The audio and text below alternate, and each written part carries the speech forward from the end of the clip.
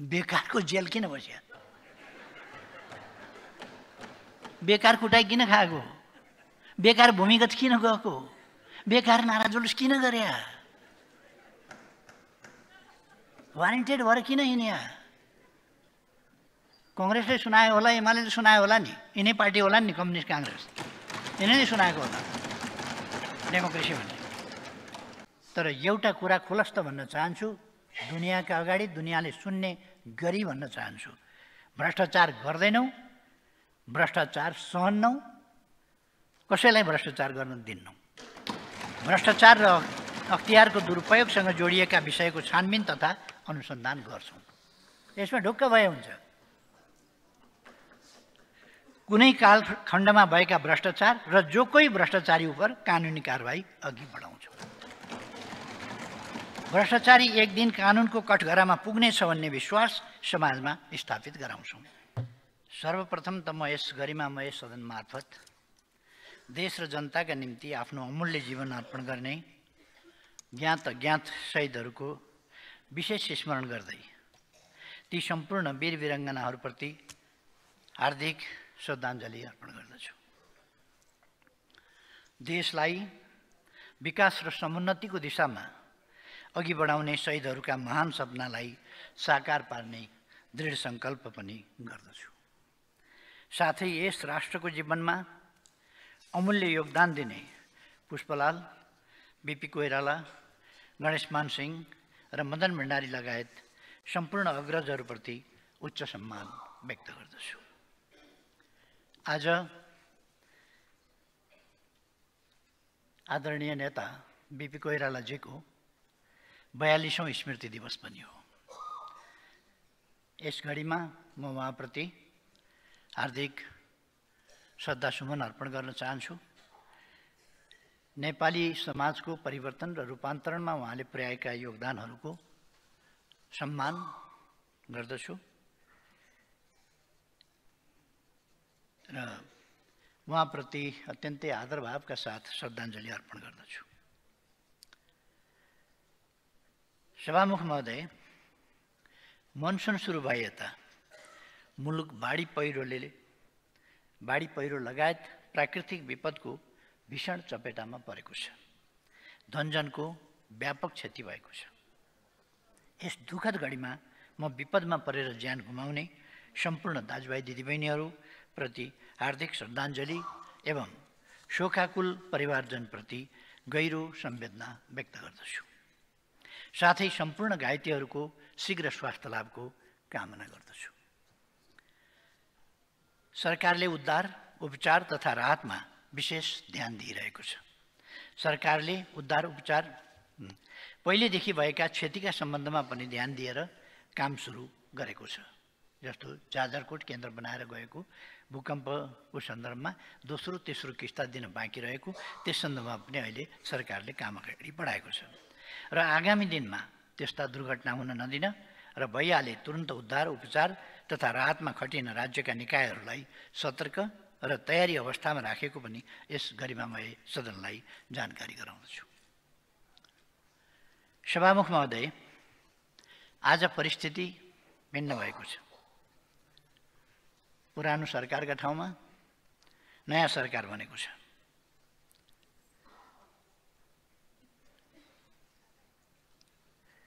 संविधान र कानुन बमोजिम। म यस सदनबाट सदनको बहुसङ्ख्याबाट प्रधानमन्त्री नियुक्त भएको छु। र यसै सन्दर्भमा संविधान र कानुन बमोजिम प्रधानमन्त्रीको रूपमा विश्वासको मत लिन यहाँ उपस्थित भएको छु। मलाईको मलाई विश्वासको मत दिनुअघि यस सम्मानित सदस्य सदनले मलाई विश्वासको मत दिनुपर्ने कारण संक्षिप्त रूपमा आग्रह गर्न चाहन्छु। सबैभन्दा पहिला हामीले सरकारको जिम्मा जिम्मा लिइरहँदा देशको स्थिति कस्तो थियो भन्ने एउटा सानो झलक यहाँ प्रस्तुत गर्ने अनुमति चाहन्छु। सिङ्गो देश यति बेला निराशामै छ। छयालिस सालपछिको पुस्ताले यति चरम निराशा सायद पहिलोपटक अनुभव गर्यो। यो सरकार परिवर्तनको सङ्घारमा आइपुग्दा को स्थितिको बारेमा म भन्दैछु। अर्थतन्त्र असाध्यै डामाडोलको अवस्थामा छ। आयात र निर्यात दुवै घटेको छ।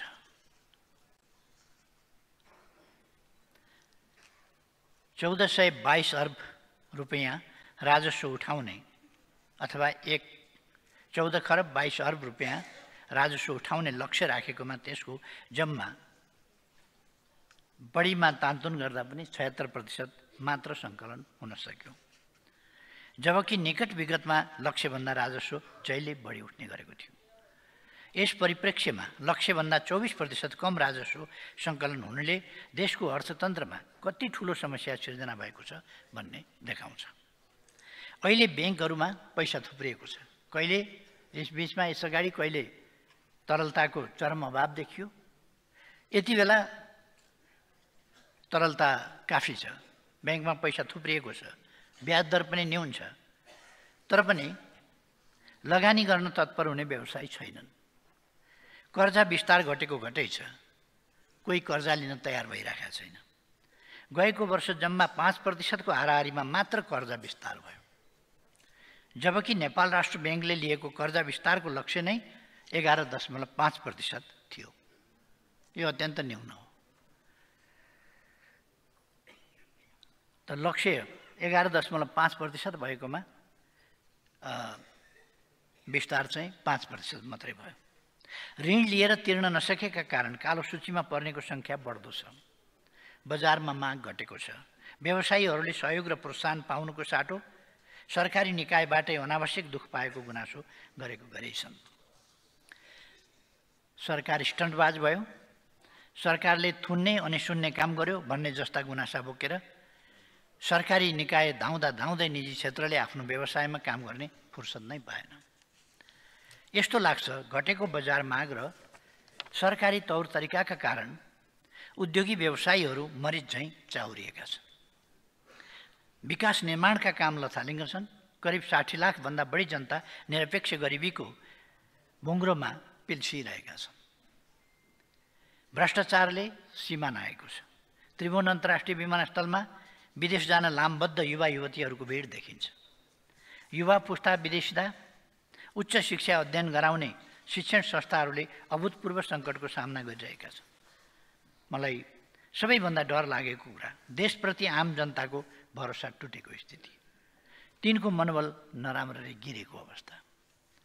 देशमा व्याप्त यही गरिबो गहिरो निराशा हटाउन जनतामा आशा र उत्साहको सञ्चार गर्न अनि देशलाई तीव्र आर्थिक वृद्धिको दिशामा लैजान अहिलेको सरकार बनेको हो। यसमा सबै स्पष्ट हुनुभयो हुन्छ। जनतामा भरोसा जगाउने गरी काम गर्न हाम्रो सरकारका मुख्य पाँचवटा प्राथमिकता रहेका छन्। पहिलो प्राथमिकता थालेको काम सक्ने। एउटा चर्चित अङ्ग्रेजी भनाइ छ डब्लुआइपी अर्थात् वर्क इन प्रोग्रेस हाम्रो विकास निर्माणको काम पनि सधैँ यस्तै भइरहेको छ। जहिल्यै काम भइरहेको हुने तर कहिल्यै नसकिने। म एउटा उदाहरण पेस गर्छु। आर्थिक वर्ष दुई हजार पैँसठी छैसठीमा कालीकोट जिल्लाको खुलालुदेखि हुम्ला जिल्लाको सलिलासम्म एक सय तेइस किलोमिटर सडक कालोपत्र कालोपत्रे स्तोन्नति गर्ने एउटा आयोजना सुरु भयो पैँसठी छैसठीमा गएको केही दिनअघि म रिपोर्टहरू हेर्दै थिएँ विगतका सोह्र वर्षमा यस आयोजनाको भौतिक प्रगति जम्मा प्रति पन्ध्र प्रतिशत पुगेको रहेछ। अझ मलाई उदेक लागेको कुरा के भने यो आयोजना सम्पन्न गर्नुपर्ने निकायले तयार पारेको रिपोर्टमा आयोजना सम्पन्न गर्नुपर्ने मिति यकिन भइ नसकेको भनेर लेखेको रहेछ। एकातिर राष्ट्रिय गौरवको आयोजना भन्ने तर वर्षभरिमा एक प्रतिशत प्रगति पनि हासिल नगर्ने। कहिलेसम्म सक्छु भनेर टुङ्गो समेत लगाउन नसक्ने आयोजनालाई राष्ट्रिय गौरवको आयोजना चाहिँ भनिरहने। यस्तो विकासको मोडल बोकेर हामी समृद्धिको गफ गरिरहेका छौँ। म सिङ्गो देशलाई भन्न चाहन्छु। अब हामी विकासको मामिलामा देखिएको यस्तो अनुशासनहीनताको अन्त्य गर्दछौँ। सबै मन्त्रालय अन्तर्गत अहिलेसम्म सुरु भएका सबै परियोजनालाई समयमै सम्पन्न गर्नेमा हाम्रो सम्पूर्ण शक्ति केन्द्रित गर्छौँ। यो सरकार काम भइरहेको छ भन्न होइन। थालेको काम सकियो भनेर सुनाउन आतुर छ। यसका लागि हामी मुख्यत चारवटा काम गर्नेछौँ। पहिलो क्षमता उद्धृति। नेतृत्वको हिसाबले मन्त्री परिषद र सम्पूर्ण मन्त्रालयको क्षमता वृद्धि गर्नु मेरो दायित्व हो। कहिलेकाहीँ मनसाय गलत नभए पनि काम गर्ने तौर तरिका नजानेर हामी परिणाम निकाल्न नसक्ने रहेछौँ। त्यसैले आफ्नो मन्त्रालयको कामलाई कसरी व्यवस्थित गर्ने कामको प्रगति भयो या भएन त्यसको मूल्याङ्कन कसरी गर्ने आफ्नो मन्त्रालयको मुख्य प्रगति सूचक कि पर्फर्मेन्स इन्डिकेटर कसरी तय गर्ने त्यसको रेकर्ड कसरी राख्ने सरकारको भिजनसँग आफ्नो मन्त्रालयलाई कसरी सामञ्जस्य गर्ने अलाइन कसरी गर्ने बजेटको मोनिटरिङ कसरी गर्ने भन्ने कुरामा अध्यावधिक गराउन विशेष व्यवस्था गर्नेछु। दोस्रो मूल्याङ्कन। हामी खर्च गर्ने क्षमता बढाउनेछौँ। एउटा समस्या के पनि भइरहेको छ भने बजेट छुट्याइन्छ रकम छुट्याइन्छ योजना राखिन्छ तर खर्च हुँदैन र योजनाहरू अधुरा छुट्छन्। त्यसकारण हामी खर्च गर्ने क्षमता पुँजीगत खर्च गर्ने क्षमता बढाउनेछौँ। काम गर्ने र काम नगर्नेका बिचको फरक छुट्याउन सुरु गर्नेछौँ। काम गर्नेहरूले मुद्दा खेप्नुपर्ने तर काम नगर्नेहरू स्वच्छ छविको भएर रिटायर्ड हुने स्थितिको अन्त्य गर्नेछौँ। तोकिएको लागत समय परिणाम र गुणस्तरको काम सम्पन्न नगर्ने जुनसुकै पक्षलाई यसबाट हुने ना हानि नोक्सानीका लागि जिम्मेवार बनाई कानुनी कारवाही गर्नेछौँ। लापरवाही र बदनियत साथ गरिएको अनुचित विलम्बका कारण परियोजनाको लागत वृद्धि हुन दिने छैनौँ। र ठेक्काको दुरुपयोग गर्नेबाट हानि नोक्सानीको रकम असुल उप गर्नेछौँ। तेस्रो आवश्यक ऐन संशोधन लगायत कुरामा नीतिगत सुधार गर्नेछौँ। चौथो निर्माण सम्पन्न गरेर पनि भुक्तानी पाउन नसकेका निर्माण व्यवसायीहरूको समस्या तत्काल समाधान गर्नेछौँ। सामान्य सभामुख महोदय बिहान उठेदेखि राति नदुस नसुतेसम्म हामी आयातित सामग्री प्रयोग गरिरहेका हुन्छौँ। सामान्यतया सामान्य कुरामा पनि हामी आत्मनिर्भर छैनौँ। म सानो उदाहरण पेस गर्न चाहन्छु। म प्रधानमन्त्रीमा नियुक्त भएपछि विभिन्न क्षेत्रका धेरै व्यक्तिहरू शुभकामना एवं बधाई दिन आउनुभयो। आउँदा सबैसँग फुलमाला र खादा हुने नै भयो। यसो तथ्याङ्क हेर्छु। बितेका केही आर्थिक वर्षहरूमा मात्र हामीले करोडौँ रुपियाँको फुल आयात गरेका रहेछौँ। साधारणतया रोपेको दुई महिनादेखि फुल फुल्न थाल्छ हाम्रो प्रकृति यस्तो छ ठाउँअनुसारको विभिन्न रङ जात र प्रकारका फुल फुल्छन्। तैपनि हामी किन हाम्रै देशमा फुल फुलाउँदैनौँ? किन हामी टनका टन फुल आयात गरिरहेका छौँ? फुलको प्रसङ्ग त मैले एउटा साङ्केतिक रूपमा मात्रै यहाँ उठाएको यस्ता अनेक चिजहरू। हामी व्यापार असन्तुलनको कुरा गर्छौँ। मलाई त हामी व्यापार नै गरिरहेका छैनौँ जस्तो लाग्छ। गएको आर्थिक वर्षको पहिलो एघार महिनामा चौध सय चौन्न अर्ब रुपियाँको आयात गर्दा हामीले करिब एक सय चालिस अर्ब रुपियाँको निर्यात गरेछौँ। यो तथ्याङ्क पनि अलिक फरक ढङ्गले बुझ्नुपर्छ यसमा। अरूले बेची मात्र रहेका छन् हामी चाहिँ किनी मात्र रहेका छौँ। बिक्री नगर्ने खरिद मात्र गरिरहने पनि व्यापार हुन्छ र अब हामीले व्यापार गर्न सुरु गर्नुपर्छ आयात प्रतिस्थापन गर्ने र स्वदेशी कच्चा पदार्थमा आधारित उपभोग्य वस्तु उत्पादन गर्ने उद्योगको प्रवर्धन गर्नु यस सरकारको दोस्रो प्राथमिकता हो। यसका लागि अर्थ लगायतका मन्त्रालयसँग समन्वय गरी उद्योग वाणिज्य तथा आपूर्ति मन्त्रालयले तिन महिनाभित्र स्पष्ट मार्गचित्र तयार पार्नेछ। हामी व्यवसाय मैत्री वातावरण तयार गर्न पार्नेछौँ। उद्योग व्यवसाय दर्ताका लागि सुरुकै बिन्दुमा सबै प्रकारका स्वीकृतिहरू उपलब्ध हुने व्यवस्था हुनेछन्। निवेदन परेको सात दिनभित्र स्वीकृति दिने स्वीकृति दिन नसकिने भए कारण खोली स्वीकृति नहुने जानकारी दिने र समय लाग्ने भए के कारणले कति समय लाग्ने हो सो कुरा खुलाइ जानकारी दिने व्यवस्था गर्नेछौँ। निर्धारित समयभित्र स्वीकृति नदिने कर्मचारीलाई सजाय गर्ने व्यवस्था सहितको कानुनी व्यवस्था गरिनेछ। स्टार्टअप आइटी हाई ग्रोथ इन्टरप्राइजेसलाई उत्प्रेत गरी देशभित्र आर्थिक अवसर सिर्जना गर्न अर्थ मंत्रालय मन्त्रालयले विद्यमान कानुनी र वित्तीय संरचनाहरूको अध्ययन गर्नेछ। स्टार्टअपहरूलाई प्रोत्साहन एवं सहजीकरणका लागि प्रधानमन्त्री तथा मन्त्री परिषदको कार्यालयले एकद्वार प्रणालीको एक विशेष संयन्त्र तयार पार्नेछ।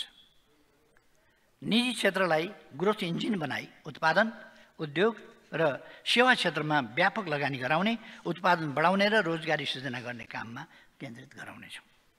सहकारीहरूको नियमन गर्नेछौँ बचत परिचालन गराउनेछौँ। प्राथमिकताका आधारमा राज्यको लगानी स्वास्थ्य शिक्षा सुरक्षा सामाजिक संरक्षण र ठुला पूर्वाधार निर्माण गरी पाँच ठाउँमा केन्द्रित गराउनेछौँ।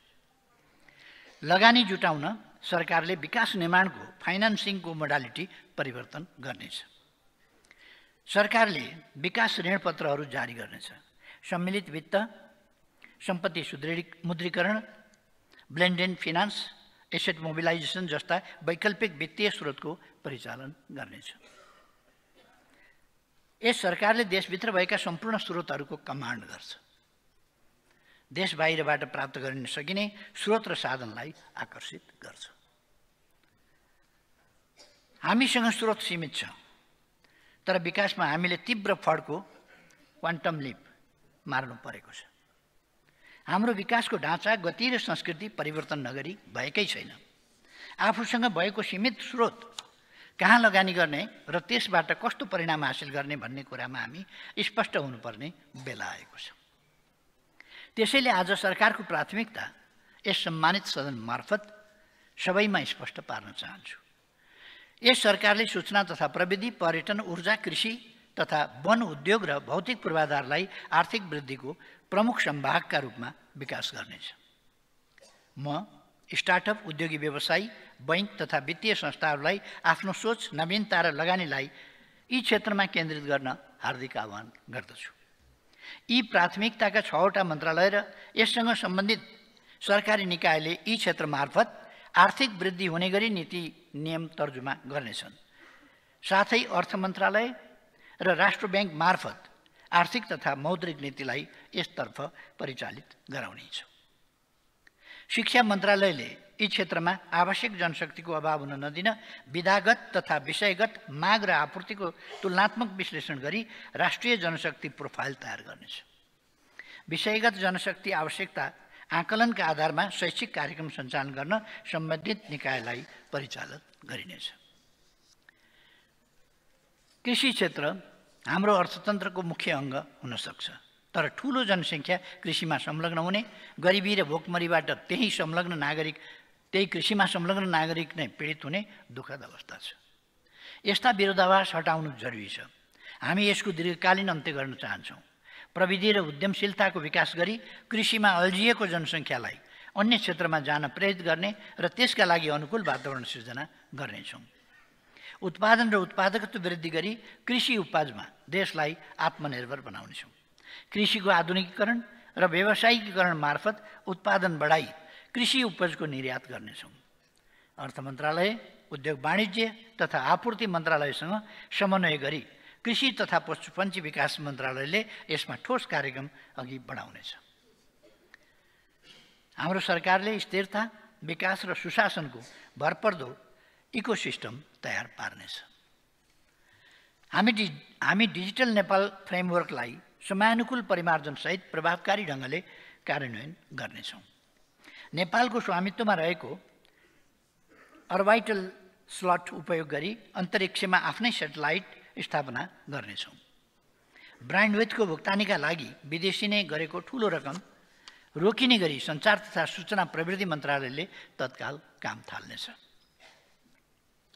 सभामुख महोदय युवा पुस्ता विदेशिता त्यसले पारेको आर्थिक र सामाजिक असर त छँदैछ मलाई हिजो आज महसुस हुन्छ वैदेशिक रोजगारीले अर्थतन्त्रको संरचनामा पनि व्यापक परिवर्तन ल्याएको छ। केही वर्ष अघि अघिसम्म नेपालमा मोटरसाइकल निकै बिक्री हुन्थ्यो। तर अहिले मोटरसाइकलको सट्टा स्कुटरको बिक्री बढेको छ भन्ने समाचारहरू आएका छन्। यसै गरी कुखुराको मासुको खपतमा कमी आएको समाचार केही अघि पढेको थिएँ।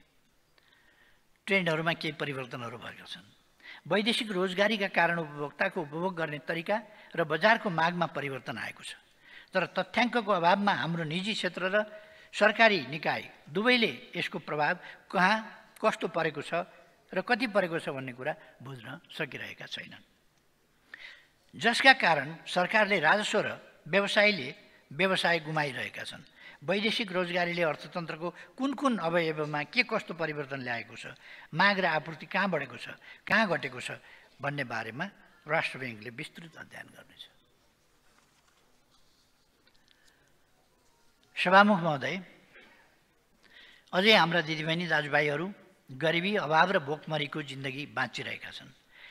जहिल्यै मेरो मनमा प्रश्न आउँछ यति उर्वर धरतीमा यस्ता मेहनती जनता यस्तो हालतमा हुनु जति दुःखदायी अरू के हुन सक्छ? वर्तमान सरकारले यस अवस्थाको अन्त्य गर्नेछ। सरकारको यो तेस्रो प्राथमिकता हो। यसका लागि खानपिनका बानीमा परिवर्तन गरी स्वस्थ र सन्तुलित पोषणयुक्त खानाको अवधारणा व्यापक गराउनेछौँ। यस कामका लागि कृषि तथा पशुपन्छी विकास मन्त्रालय सञ्चार तथा सूचना प्रविधि मन्त्रालय परिचालित हुनेछन्। सबै पालिकामा खाद्य भण्डारणको स्थापना गर्न स्थानीय तहसँग समन्वय र सहकार्य गर्नेछौँ। यसबाहेक निरपेक्ष गरिबी चाँडोभन्दा चाँडो कसरी हटाउने भन्ने सम्बन्धमा योजना आयोगको नेतृत्वमा सम्बन्धित मन्त्रालयको एक संयन्त्र तयार पार्नेछौँ र त्यसको सुझावका आधारमा कार्यक्रम तर्जुमा तर्जुमा गर्नेछौँ। सडकमा बालबालिकाको बेहाल हुन नदिन हामीले मन्त्री परिषदबाट निर्णय गरिसकेका छौँ। जुनसुकै भूगोलमा जन्मिएको भए पनि बालबालिकालाई भोकै मर्न दिइन्न। कुपोषणको शिकार हुन दिइन्न। स्कुल जान नपाएका पढ्न नपाएका जाडोमा न्यानो लुगा लगाउन नपाएका वर्षमा ओत लाग्ने छानो नभएका अनि भोक लागेका बेला खान नपाएका बालबालिका र जनता नै यस सरकारको सबभन्दा प्रमुख चासो चिन्ता र सरोकारका विषय हुन्। तराई मधेसमा आर्थिक रूपमा विभिन्न मधेसी दलित सामाजिक रूपमा विभेद र भेदभावमा परेका व्यक्ति अपाङ्गता भएका अशक्त बेसहारा सङ्क्रमित आश्रयविहीन अल्पत्र र मनोरोगीहरूलाई मनमा राखेर सरकारले आफ्नो प्राथमिकता तय गर्नेछ।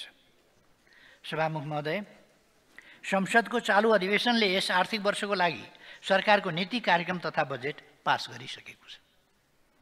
नीति कार्यक्रम र बजेट पास गर्दा होस् या सरकार परिवर्तन हुँदा होस् माननीय सदस्यज्यूहरूले उठाउनुभएका कुरा मैले स्मरणमा राखेको छु। सरकार भनेको अविच्छिन्न उत्तराधिकारी संस्था हो। तसर्थ हाम्रा नीति तथा कार्यक्रमलाई अघि बढाउनेछौँ।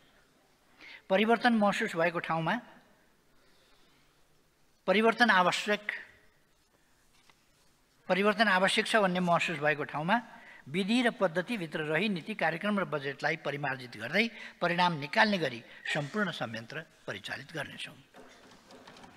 यो नै वर्तमान सरकारको चौथो प्राथमिकता हो। कुरा अलिक अघि पनि उठ्या थिएँ, चर्कै चर्कै ढङ्गले पनि उठ्या थिएँ। म त्यतापट्टि जान चाहन्न, तर एउटा कुरा खुलस्त भन्न चाहन्छु, दुनियाँका अगाडि दुनियाँले सुन्ने गरी भन्न चाहन्छु। भ्रष्टाचार गर्दैनौँ भ्रष्टाचार सहन्नौ कसैलाई भ्रष्टाचार गर्न दिन्नौँ? भ्रष्टाचार र अख्तियारको दुरुपयोगसँग जोडिएका विषयको छानबिन तथा अनुसन्धान गर्छौँ। यसमा ढुक्क भए हुन्छ। कुनै कालखण्डमा भएका भ्रष्टाचार र जो कोही भ्रष्टाचारी उप कानुनी कारवाही अघि बढाउँछौँ। भ्रष्टाचारी एक दिन कानुनको कठघरामा पुग्नेछ भन्ने विश्वास समाजमा स्थापित गराउँछौँ। सहकारी पीडितका सम्बन्धमा उचित निर्णय लिनेछौँ र जोसुकै भए पनि सहकारी ठगलाई कानुनी कारवाही गर्नेछौँ। सुशासनका लागि स्टन्ट होइन सही इन्टेन्सन चाहिन्छ। यस सरकारले आफू अग्लो हुन अरूलाई होचो बनाउने कोसिस गर्ने छैन। आफू गुरुदेखि अर्काको अनुहारमा हिलो स्याप्ने काम पनि गर्दैन। यो सरकारको पाँचौँ प्राथमिकता हो। सभामुख महोदय यी पाँच प्राथमिकता बाहेक सरकारले सार्वजनिक सेवा प्रभावकारी बनाउन र नागरिकको दैनन्दिन जीवनलाई सहज बनाउन अन्य सेवा प्रवाह नीति निर्माण र विकास सम्बन्धी कामहरू गर्दै जानेछ। त्यसमध्ये केही कामहरूलाई म यहाँ छोटकरीमा राख्न चाहन्छु। नेपालभित्र जुनसुकै भौगोलिक क्षेत्रमा बसोबास गर्ने नेपालीलाई राज्यले उपलब्ध गराउने नागरिकता राष्ट्रिय परिचय पत्र र सवारी चालक अनुमति पत्र अनलाइन प्रणालीबाट उपलब्ध गराउने व्यवस्था गर्नेछौँ। अघि भर्खरै पनि सदनमा उठेको छ कि नब्बे पन्चानब्बे अन्ठानब्बे उनासय सय वर्षका बुढाबुढीलाई घन्टौँसम्म लाइन लगाउने यस खालको परिपाटी हुनु हुँदैन। जनता मालिक हुन् जनता सार्वभौम छन् र हामीले जनताको सेवा गर्नुपर्छ भन्ने कुरा बुझ्नुपर्छ। हामी जनताका मालिक होइनौँ जनतालाई थर्काउने तर्साउने होइन जनतालाई दुःख दिने होइन भन्ने कुरा बुझ्नुपर्छ। हाम्रो काम सेवा गर्ने हो र सुविधा उपलब्ध गराउने हो। त्यसबाहेक सवारी साधन दर्ता बिल्कुल नवीकरण र बिल बुक नवीकरण र घर जग्गा लगायतका सम्पत्ति खरिद बिक्री कर विद्युत खानेपानी लगायतका सरकारी शुल्क तथा कर लाइनमा बसेर होइन अनलाइनबाट तिर्ने व्यवस्था मिलाउनेछौँ। स्वास्थ्य तथा कृषि प्राविधिक लगायतका सेवाहरू पनि अनलाइन प्रणालीबाटै उपलब्ध हुनेछन्। नागरिक प्रशासन र सुरक्षा निकायलाई सक्षम व्यावसायिक र जनताप्रति उत्तरदायी बनाउनेछौँ। सार्वजनिक सेवा प्रवाहको गुणस्तर र प्रभावकारिता बढाउनेछौँ। विद्यालय शिक्षा विधेयक निजामती विधेयक लगायत सदनमा विचाराधीन एवं निर्माण गर्नै पर्ने करिब दुई दर्जन नयाँ ऐन तर्जुमा गर्नेछौँ। नेपाललाई आकर्षक अन्तर्राष्ट्रिय पर्यटकीय गन्तव्यको रूपमा विकास गर्नेछौँ। जैविक विविधता तथा पर्यावरण प्रणालीको दिगो संरक्षण गर्ने र जलवायु परिवर्तनका अवसर कम गर्ने गरी रणनीति तर्जुमा गरी कार्यान्वयन गर्नेछौँ। जलवायु परिवर्तन तथा माउन्टेन इकोनोमीप्रति विश्वको ध्यान आकर्षण गर्ने समेतको उद्देश्यले प्रस्तावित सगरमाथा संवादको परराष्ट्र मन्त्रालयले तयारी गर्नेछ। निरोगी नेपालको सरकारको मुख्य स्वास्थ्य नीति हुनेछ। यसका लागि निरोधात्मक र प्रतिरोधात्मक दुवै पद्धति अवलम्बन गरिनेछ। गर्भवती महिला ज्येष्ठ नागरिक फरक क्षमता भएका नागरिक र बेसारा नागरिकहरूको स्वास्थ्य उपचार तथा पोषणको जिम्मा सरकारले लिनेछ। सुकुम्बासी मुक्त अलिया मुक्त कमैया र अव्यवस्थित बसोबासीका समस्या समाधान गरिनेछ। हरेक कामलाई मर्यादित बनाइनेछ। श्रमिकको हक हित र कल्याण सरकारको प्राथमिकता हुनेछ। कर्मथलोमा हुने सबै प्रकारका विभेदको अन्त्य गरिनेछ। श्रमिक तथा कर्मचारीलाई सामाजिक सुरक्षा प्रणालीमा आबद्ध गरिनेछ। वैदेशिक रोजगारीलाई सुरक्षित मर्यादित र व्यवस्थित गरिनेछ। विदेशबाट फर्केका व्यक्तिहरूको ज्ञान सिप र पुँजीको सदुपयोग गर्न श्रम रोजगार तथा सामाजिक सुरक्षा मन्त्रालयले अभियान नै सुरु गर्नेछ। खेललाई राष्ट्रिय एकता अन्तर्राष्ट्रिय प्रतिष्ठा र मित्रता अभिवृद्धि गर्ने माध्यमका रूपमा विकास गरिनेछ। सामाजिक सद्भाव राष्ट्रिय एकता सांस्कृतिक र धार्मिक सहिष्णुता एवं उदार मूल्यहरूको अभिवृद्धि गरिनेछ। कानुनको शासन स्वतन्त्र न्यायालय शक्ति पृथकीकरण नियन्त्रण र सन्तुलन तथा जनताका हक र अधिकारको प्रत्याभूति गरिनेछ। न्यायालयप्रति जनताको विश्वास र भरोसा अभिवृद्धि गर्न आवश्यक सुधारका प्रक्रिया अघि बढाइनेछ। सभामुख महोदय हाम्रो विदेश नीति स्वाधीनता स्वाभिमान र विकासबाट निर्देशन हुन्छ। हामी असल छिमेकीपनमा विश्वास गर्छौँ त्यस अनुसारको व्यवहार गर्छौँ।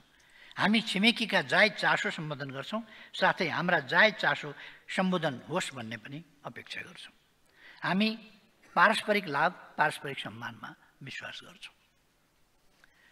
सभामुख महोदय देशमा जुन किसिमको निराशा छाएको छ त्यसलाई चिर्नका निम्ति राजनीति विकास र समृद्धिको बसतर्फ मोडिनै पर्छ।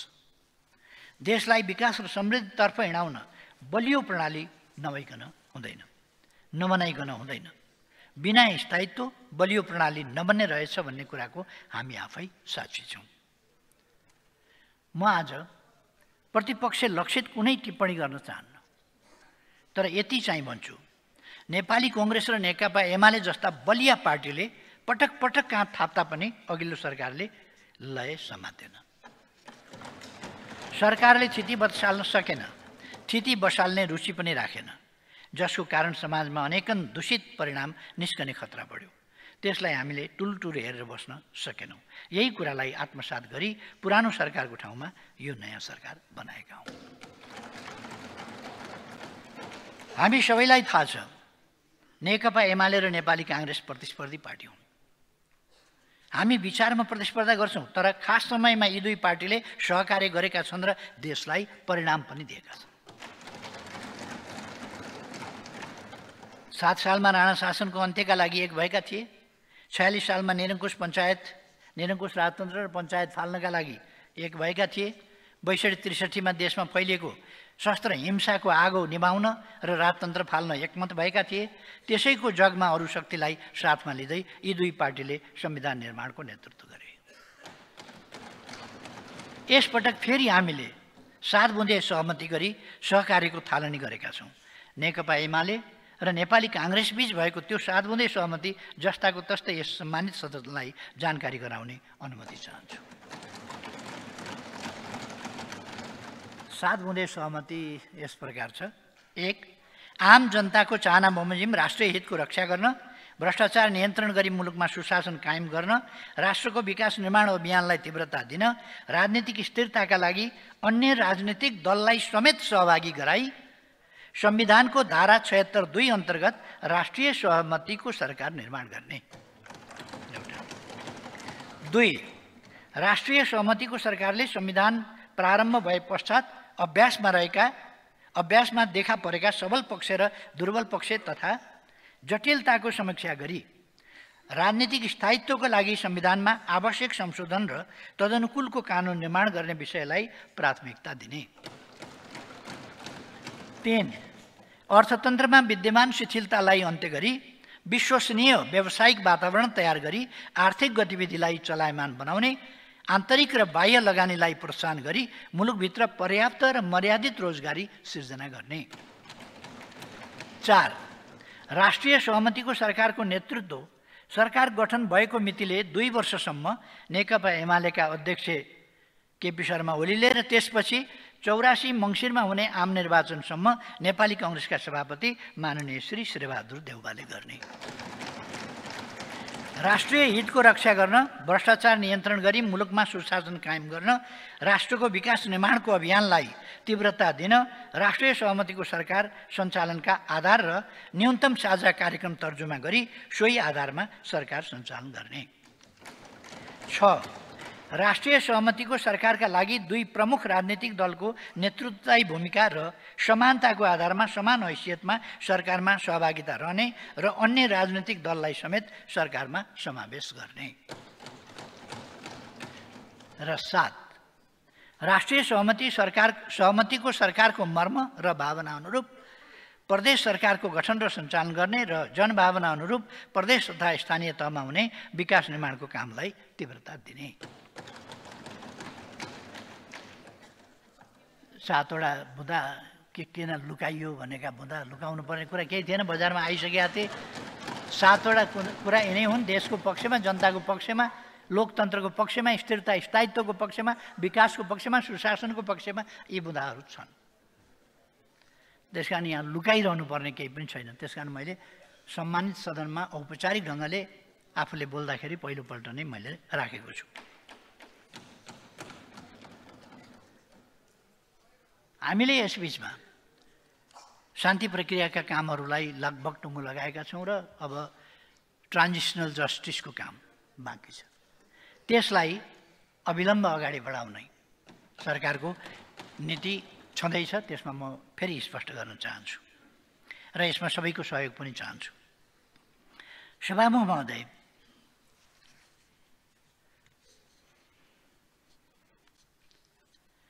अघिल्लो युगले गरेको अकल्पनीय त्याग र बलिदानबाट प्राप्त भएका मानव सभ्यताका आधारभूत उपलब्धिहरूलाई पछिल्लो युगले गर्वका साथ जीवन्त र अविच्छिन्न राख्नुपर्दछ।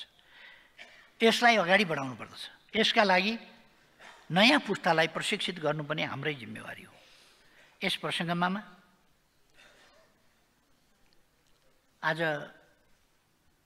यहीँ पनि विभिन्न टिप्पणीहरू मैले सुने।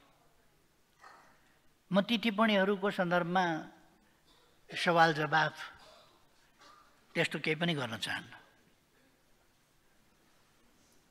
चर्को आलोचना पनि सुने विरोध पनि सुने। यस प्रसङ्गमा आज बिहान मात्रै मैले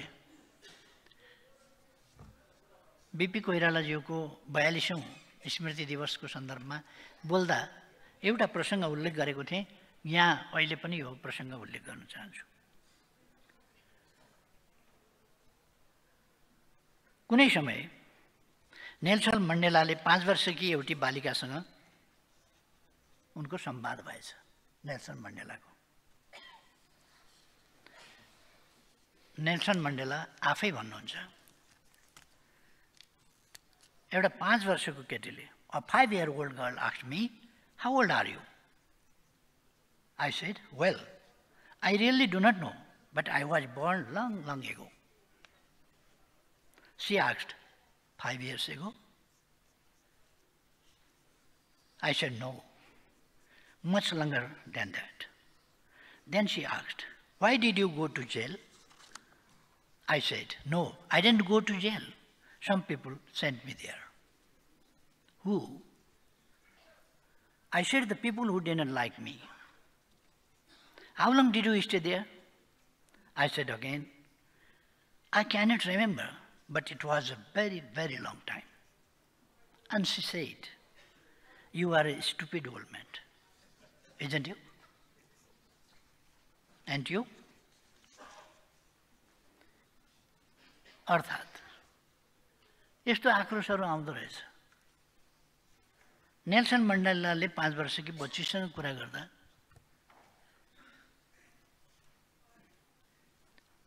कति वर्षको हुनुभयो तपाईँ भनेर सोधिन् ठ्याक्कै त थाहा छैन तर उहिल्यै जन्मेको म धेरै वर्ष अगाडि भने उनले। उनी पाँच वर्षकी थिइन् अनि उनले सोधिन् पाँच वर्ष पहिले भनेर किन उनलाई समय भनेकै पाँच वर्षको मात्रै थाहा छ। फाइभ इयर्स कतिलाई समय भनेकै साढे तिन वर्ष थाहा छ। कतिलाई समय भनेकै दुई वर्ष थाहा छ। कसैलाई समय भनेकै तिन वर्ष थाहा छ। Then what can I do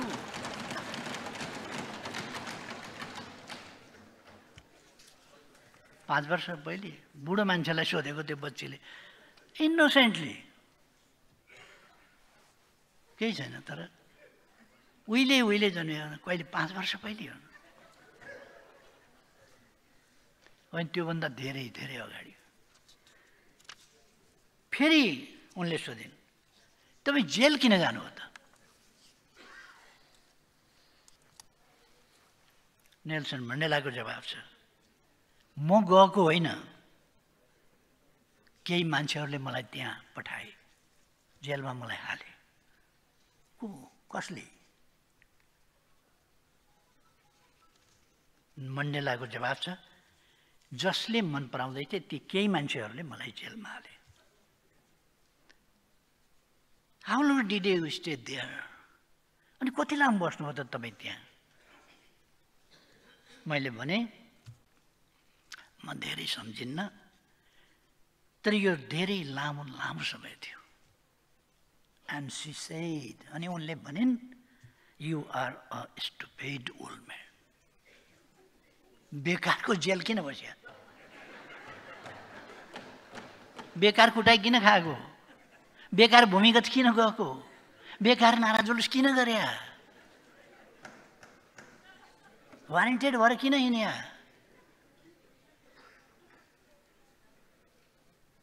उनी छक्क परेन्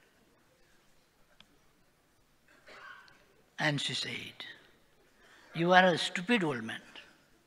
And you? तपाईँ एउटा मूर्ख मान्छे हुनुहुँदो रहेछ बुढो मान्छे होइन र किन किन बस्यो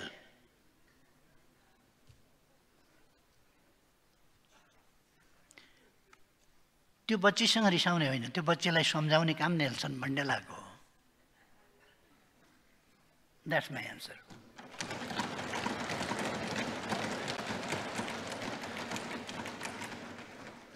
युग बदल्नका लागि समाज राष्ट्र र समग्र जगतको निरन्तर विकासका लागि निर्मम निरङ्कुशताका विरुद्धको बलिदानपूर्ण सङ्घर्षको यथार्थ इतिहासको सही जानकारी नयाँ पुस्तालाई गराउन कति जरुरी छ भन्ने कुरा यस रोमाञ्चक संवाद मार्फत बुझ्न सकिन्छ।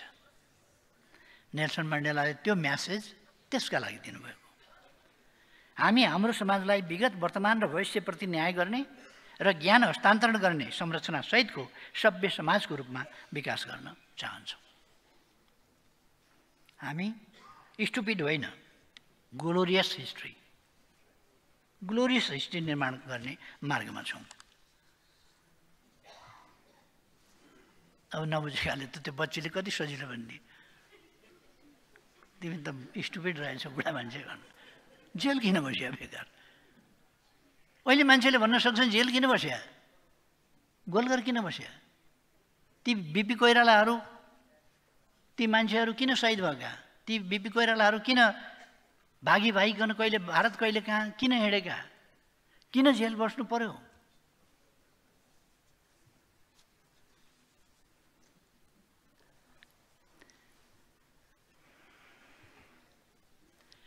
अहिले हाम्रो यो प्रयास कार्यान्वयनमा जान साथ उत्साहको श्रृङ्खला प्रारम्भ भएको छ।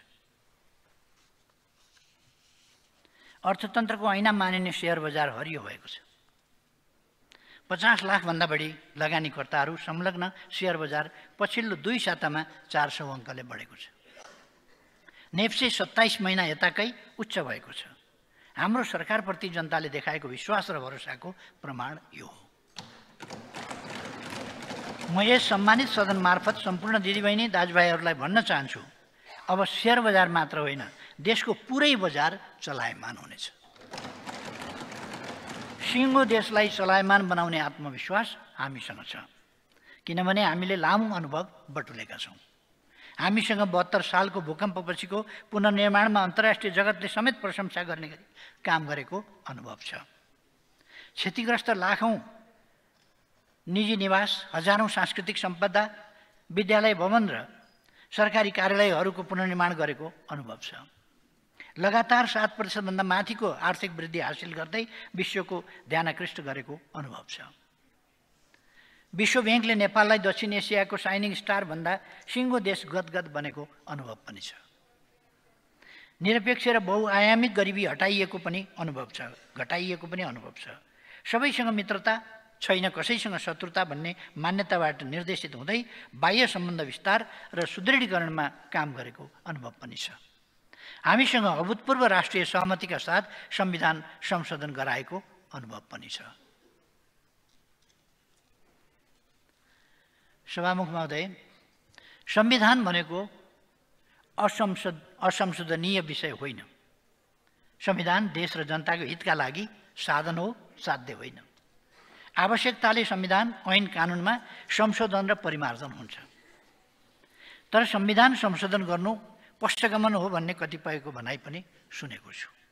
अर्को कुरा यस देशमा डेमोक्रेसीका लागि डेमोक्रेसी भन्ने शब्द कसले सुनाइदियो? कसले सुनायो डेमोक्रेसी भन्ने शब्द? शब्द। नेपालमा। कङ्ग्रेसले सुनायो होला एमाले सुनायो होला नि? यिनै पार्टी होला नि कम्युनिस्ट काङ्ग्रेस? यिनीहरूले सुनाएको होला। डेमोक्रेसी भन्ने। पार्टी सिस्टम कसले सुनायो? कसले पार्टी बनायो? यिनै पार्टी होला नि।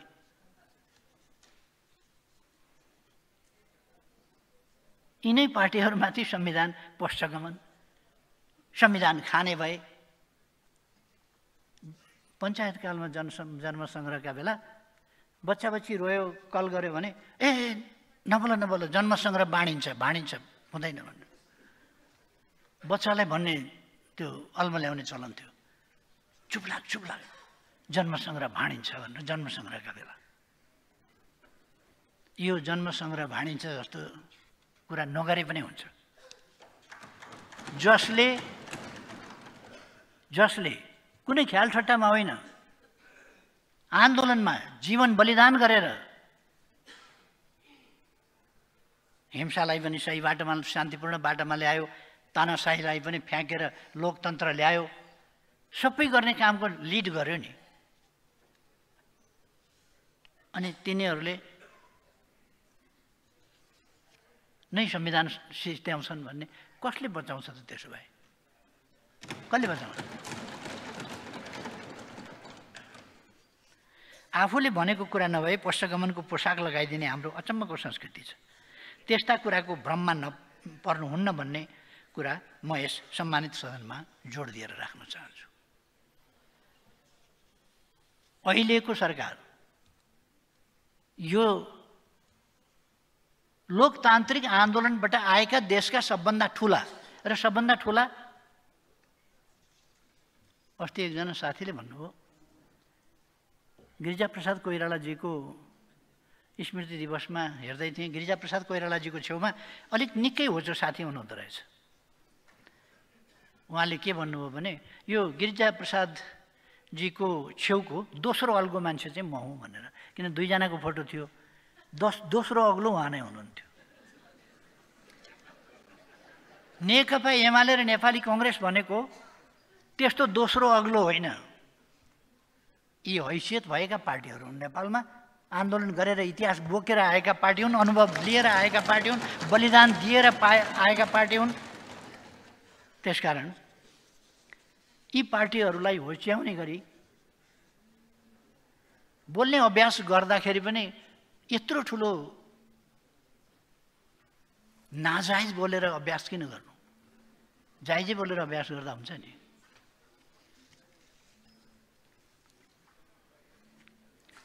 म सधैँ अघि बढ्ने मानिस हुँ। मैले आफ्नो यात्रामा गियर लगाउन र पछि सर्न जानेको छैन। हामी सबैले महसुस गरेको कुरा अहिले विकासको मुख्य तगारो अस्थिरता हो। अस्थिरता हटाउन संविधानमा संशोधन चाहिन्छ भने हामीले गर्नुपर्छ। हामीले बुझ्नुपर्ने कुरा के छ भने संविधान विकासको भाग हुनुपर्छ बाधक होइन। विकासको लागि संविधान जहाँनिर बाधक बनेको छ त्यहाँ संशोधन हुन्छ।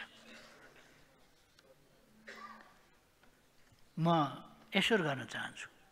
संविधान संशोधन हामीसँग दुई तिहाई पुग्छ भने पनि हामी दुई तिहाईले नै गर्ने त्यस मुडमा होइन। हामी सबैले मिलेर संविधान बनाएका हौँ सबैले मिलेर संशोधन गरेका छौँ अहिलेसम्म। दुईवटा संशोधन भइसके। अर्को संशोधन पनि देशको हितको पक्षमा हामी गर्नेछौँ जनताको हितको पक्षमा गर्नेछौँ विकासको निम्ति गर्नेछौँ सुशासनका निम्ति गर्नेछौँ जनतालाई सेवा सुविधा उपलब्ध गराउनका निम्ति गर्नेछौँ। गलत बाटोतर्फ देशलाई धकाल्नका लागि संविधान संशोधन गरिने छैन।